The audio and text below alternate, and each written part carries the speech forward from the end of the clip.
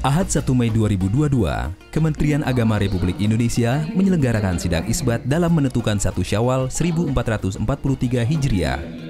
Robitoh Alawiyah diwakili oleh Wakil Ketua Umum 1 DPP Robitoh Alawiyah, Profesor Muhammad bin Idrus Alhamid, turut menghadiri acara ini.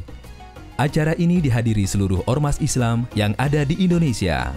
Sidang isbat kali ini dilaksanakan dengan pemantauan 99 titik pantau hilal yang tersebar di seluruh Indonesia. Itu dari 99 tempat.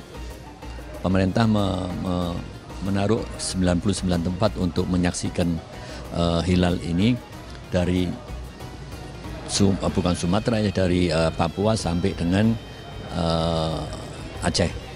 Semuanya difasilitasi oleh pemerintah. Mereka menggunakan teropong maupun ada yang melihat mata telanjang. Karena memang ketinggian dari uh, hilal sekarang ini 4,33 uh, derajat cukup cukup tinggi untuk bisa dilihat.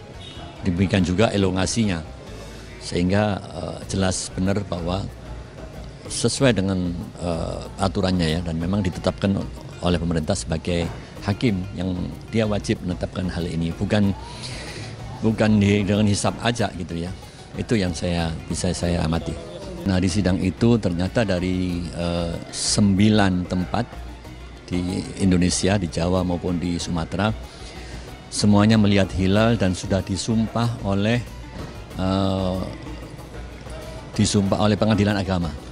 Bahwa mereka melihat dan disumpah oleh pengadilan agama sehingga tidak tidak syak lagi kalau besok itu adalah benar-benar satu Syawal 1443 Hijriah.